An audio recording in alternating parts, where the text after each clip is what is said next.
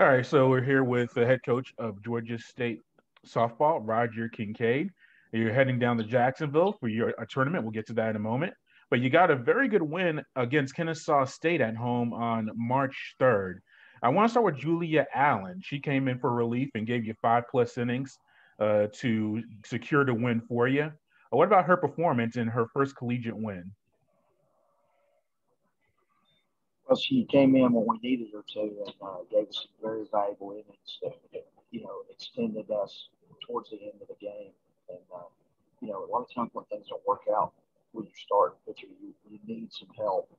And uh, she came in and gave us exactly what we needed and, and pitched really well.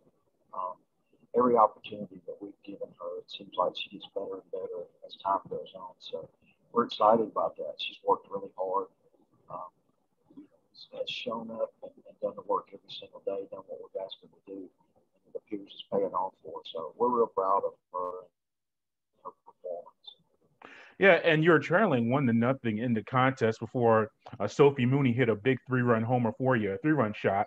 Uh, what about the just getting runners on base and uh, being able to, and actually also another home run by uh, Ellie Doolittle and Skyler Moser. So you hit three home runs in the contest, and Moser was actually the three-run shot. Uh, but three home runs, you're able to use the long ball and get people on base. What about the offensive effort of the uh, the Panthers? Well, it was good. Um, you know, we, we we came back from a one nothing deficit. Um, actually, Emily Brown hit the home run. right, Emily Brown, yes. And uh, it kind of got us back. Yeah, kind of got us back in the game. Uh, we, we got pretty juiced up. I don't know if you saw any of the highlights, but uh, it was exciting for us. She's a slapper, so not normally known for hitting the ball out of the park, but uh, you know, I told her at the beginning of the year I thought she'd get five this year, so she's she's got two, so we're almost halfway there. But um, that was really exciting, kind of jump started the offense a little bit. And, yeah, and that's a Moser. She hit the three run homer. Okay. Hit the three run homer. Mm-hmm. Right, right. When Mooney hit the two run homer, it was uh, an opposite field shot, really good barrel on the ball. And, uh, you know, we've been looking for her to do that. She's coming along. So that was good. And then uh, faced a little adversity and gave gave up a run. They, they creep back in it. And uh, all of a sudden, Sky shows up and hits a hits a really, really nice ball to dead center field. Just killed the ball and uh, gave us breathing room which is really valuable for you our pitching also for our defense. So kind of gave us a good shot in the arm there going into the last inning. Yeah, and then Doolittle was the one she was she got the save in the contest. She put her she in.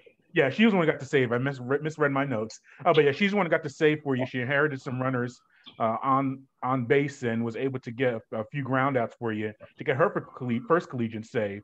What about her being put in that position and executing for you? Well, you know, Coach E has uh, been coaching her up, and, and she's she's been working we actually put her in and able experience for her. Uh, shut them out for two innings, and so we had confidence she'd come in and shut the door for us. And she just came in, man, did not like a freshman, uh, got in the circle and did a job, got got us out of it, and, and got us a dub. So we're real proud of her and, and the effort that she's put in, and you know, with Julia and also with Doolittle, we, we feel like they've only touched the surface of what they're capable of doing. So we look forward to seeing how all that progresses and, and watch it get better as time goes on. Yeah, and now you're heading literally on the road as we're speaking to Jacksonville, Florida, to be in an event. You start off with Buffalo, and you face Jacksonville University twice as well. Uh, where do you see the team right now, and uh, what are you looking to see that it gets better out, continue to do well as you head towards your next four games? Well, you know, sports is all about momentum, and uh, that that win last night put us in a good place. And I feel like we got a good good vibe going on, good momentum. So we we got five games this weekend, and you know, I'm looking for us to go down and compete, win five games. But, but the kids are believing that they can win. Uh, and, you know, after after this weekend, when when we didn't win two games, I, you know, I told them, I said, "Hey, we're in a good place, but we got to start closing the deal." I mean, playing like a, they're a good team, but at the end of the day, you got you got to go get the W, and uh, we did that last night against our crosstown rival, and, and I think that makes everybody feel good about where we're at. But you know, you're you're only as good as your next start. So we got to get busy, make sure we ride that wave, and, and continue getting better every time we go out there. Well, Coach Kincaid, thank you for your time and safe travels to Jacksonville. Thank you. Appreciate it. Go Panthers.